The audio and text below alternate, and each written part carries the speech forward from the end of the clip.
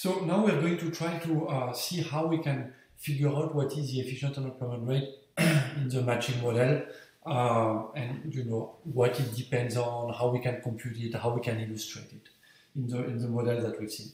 So first, I guess the first step is to try to see to define what it means to have an efficient unemployment rate and try to understand, you know, what are the kind of elements that are involved uh, here.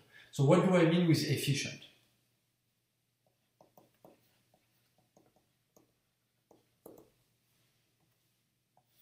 So efficient means uh, means you know what maximizes uh, social welfare. That's what we mean with efficiency.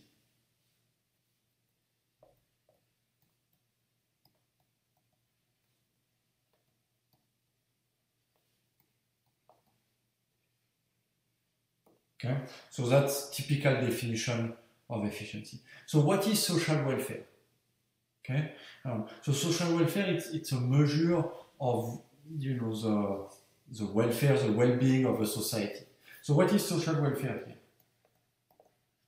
Like what are the determinants of the well-being of um, workers who are part of our model?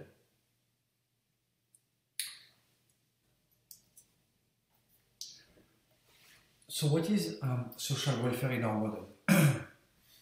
so at a general level, usually social welfare um, is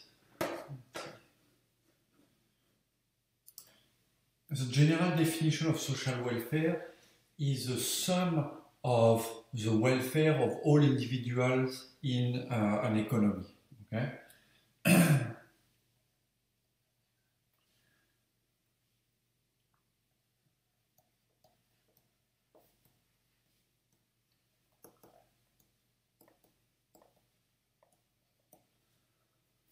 So each um,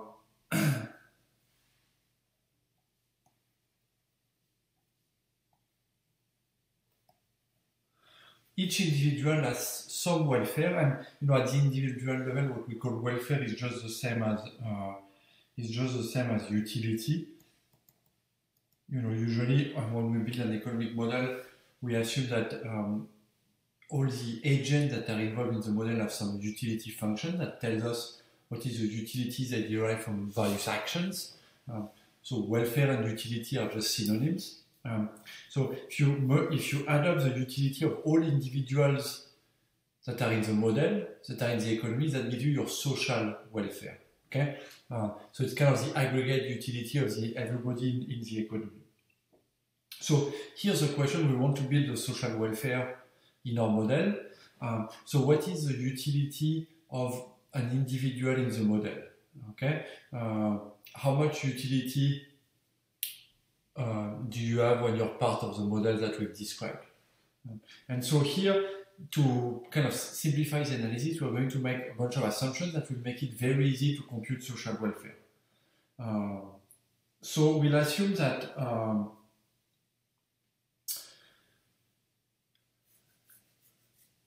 so we're going to make assumptions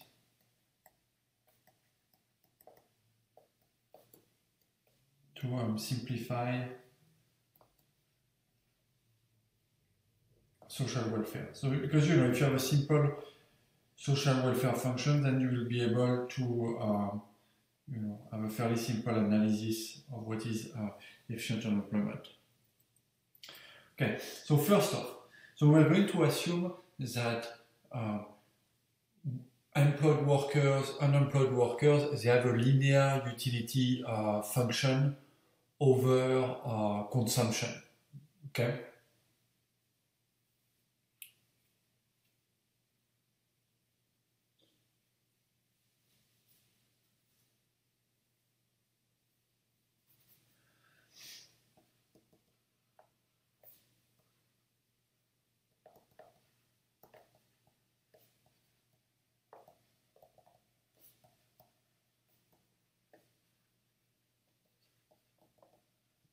And so if you've taken uh, micro classes uh, and so on, so you know that that means that uh, basically we'll assume that all workers are, are, what we call risk neutral.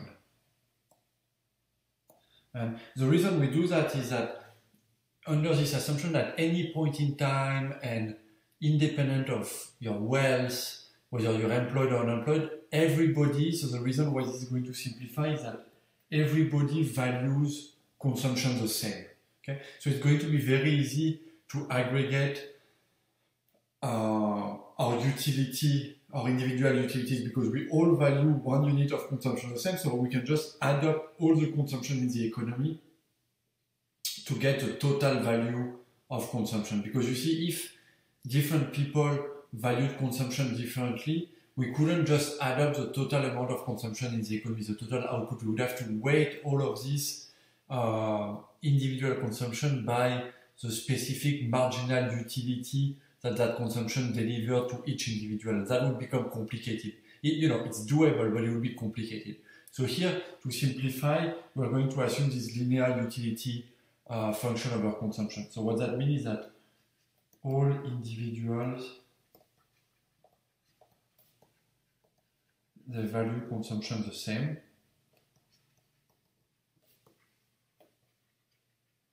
And what that further implies is that we can compute the aggregate utility from consumption by just aggregating consumption.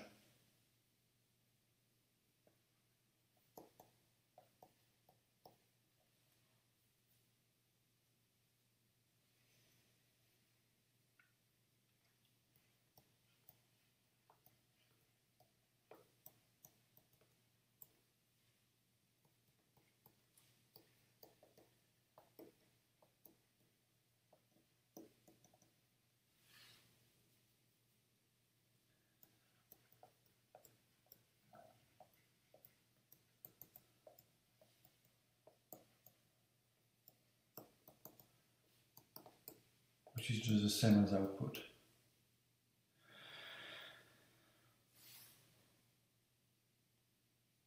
Okay, um, so that's one thing. So that's taken care of the consumption side of things.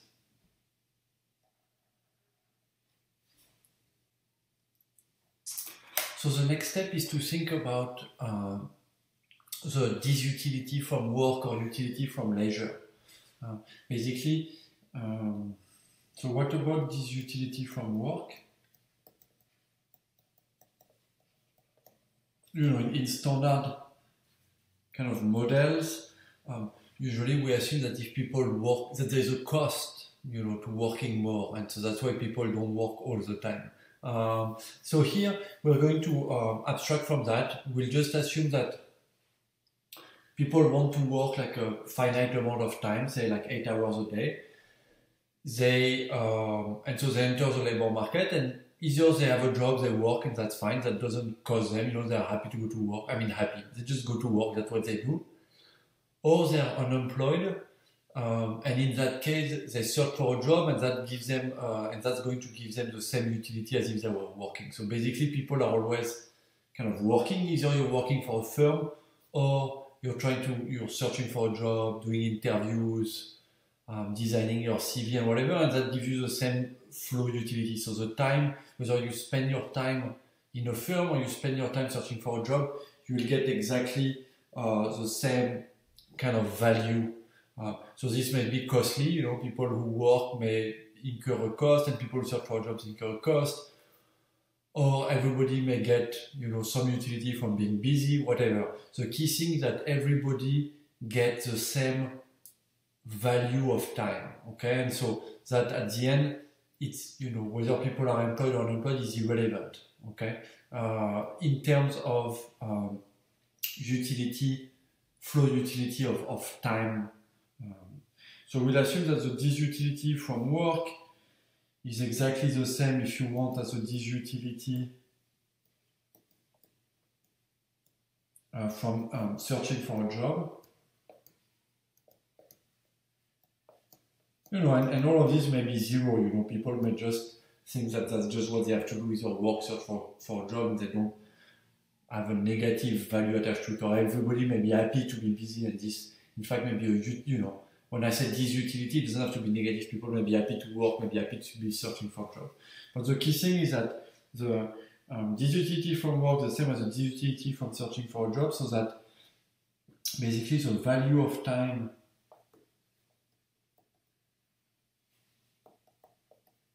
is the same for employed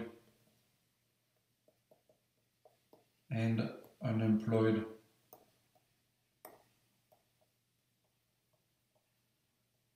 workers. Um, and so that means that everybody, you know, get the same utility whether they work or not. So it's something we don't have, you know, we don't have to care about. It's something that's fixed basically uh, in the economy. You know, by adjusting the unemployment rate, you're not going to have any effect on that because whether people work or don't work, they get the same flow value of uh, time.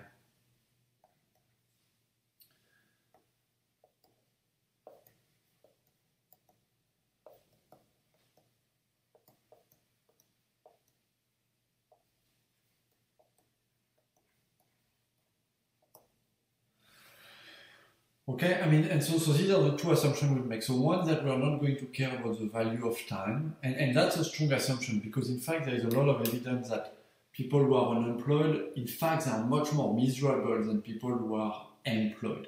So it seems that being unemployed actually as a, as a, is, is costly. Uh, so the value of time is much lower for people who are unemployed than employed. Even you know, it's not about having less income. You know, even controlling for consumption, if people consume exactly the same, people who are unemployed are much more miserable. Um, and uh, and you know, there are psychological reasons for that. And one of the main reasons is that having a job for many people is what gives uh, keeps you busy, gives a meaning to your life, make, gives sense to your life. Um, whereas a lot of people who are unemployed, they feel that their life has no meaning, they feel like they failed in some sense, and so they're quite miserable. Uh, so in general, we will want to generalize that and allow for a different value of time, and in particular, explore what happens if unemployed workers are indeed uh, much more miserable. Um, or some people argue that it's the opposite, you know, that unemployed workers should be happy because they have lots of leisure time. Anyway, so it's something that we may want to uh, to extend, and in fact, we, we are going to extend that and allow for that later on. But for now, just to simplify, we're going to assume that the value of time is the same for everybody. And we're going to assume that the marginal value of consumption is also the same. So under these two assumptions, uh, so unemployed, employed have the same value of time, so we don't care about that. Employed, unemployed, in fact, everybody has a linear utility function, so they value consumption the same. So under these two assumptions, um, basically, social welfare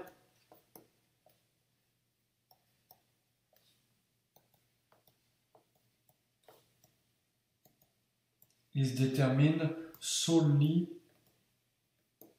by um, aggregate um, consumption, which is the same as aggregate output.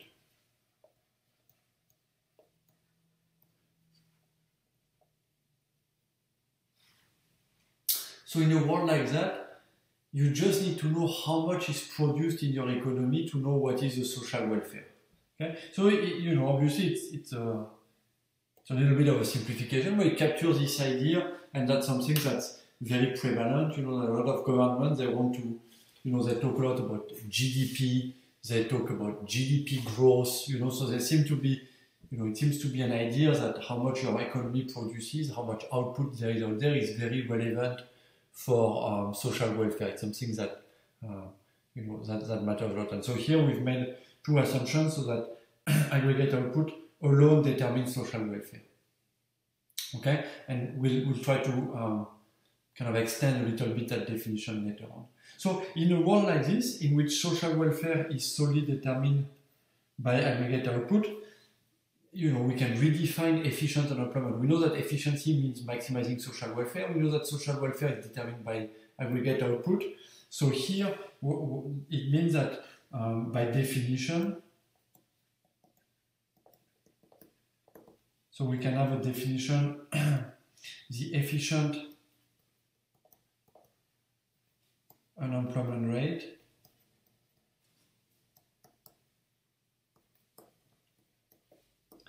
So is the unemployment rate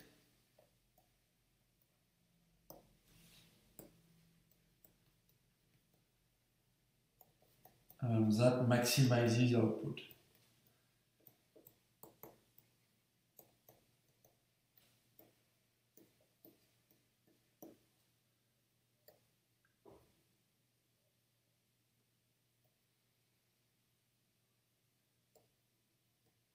Okay, so we want to what we want to determine is the level of unemployment that's going to maximize the output produced by the economy. That's what's going to be our efficient uh, unemployment rate.